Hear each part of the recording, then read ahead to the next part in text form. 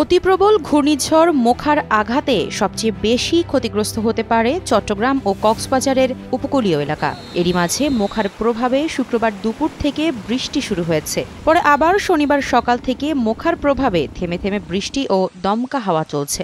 তবে আরও ভয়াবহ অবস্থার মুখে পড়তে যাচ্ছে উপকূলীয় এই এলাকা দুটো।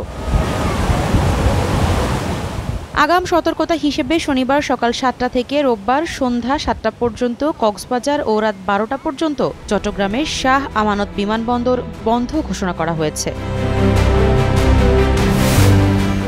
শাহ আমানত বিমানবন্দর বন্ধের বিষয়টি নিশ্চিত করে বিমানবন্দরের উপপরিচালক, উইং কমান্ডার মোহাম্মদ তসলিম আহমেদ বলেন, ঘূর্ণিঝড় মুখার কারণে শনিবার সকাল সাতটা থেকে রোববার রাত সাড়ে বারোটা পর্যন্ত চট্টগ্রাম বিমানবন্দরে সব ফ্লাইট চলাচল বন্ধ থাকবে। পরিচালক আরও জানান, তারা ঘূর্ণিঝড় পরিস্থিতি পর্যবেক্ষণ করছেন এবং তাদের সব কর্মকর্তা সতর্ক অবস্থায় রয়েছেন।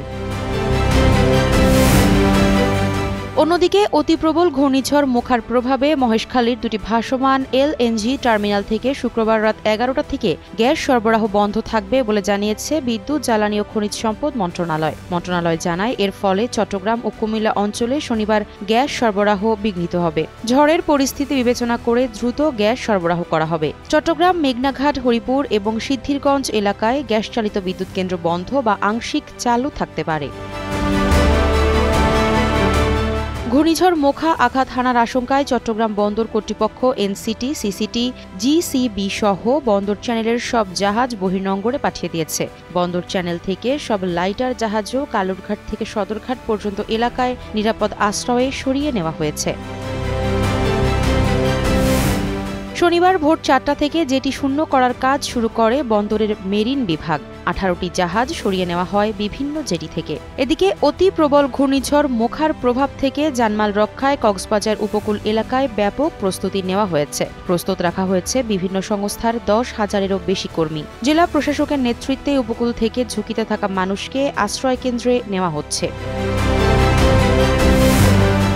শক্তি বাড়িয়ে ক্রমশ অগ্রসর হচ্ছে অতি প্রবল ঘূর্ণিঝড় মোখা। উপকূলের সঙ্গে কমছে এর দূরত্ব। চট্টগ্রাম ও কক্সবাজার সমুদ্র বন্দরের আরও কাছাকাছি চলে এসেছে মোখা, এমনটাই জানিয়েছে আবহাওয়া অধিদপ্তর। ঘূর্ণিঝড় মোখার কারণে কক্সবাজার ও চট্টগ্রাম এবং এর কাছের দ্বীপ ও চরগুলোতে আট থেকে বারো ফুট উচ্চতার জলোচ্ছ্বাস হতে পারে। এছাড়া উপকূলের দশ জেলায় পাঁচ থেকে সাত ফুট উচ্চতার জলোচ্ছ্বাস হতে পারে। শনিবার রাত থেকে কক্সবাজার ও তৎসংলগ্ন উপকূলীয় এলাকায় অতি প্রবল ঘূর্ণিঝড় মোখার অগ্রভাগের প্রভাব শুরু হতে পারে। এ সময় দমকা হাওয়া সহ ঝড় বৃষ্টি শুরু হতে পারে। আফসারানাজ কালবেলা।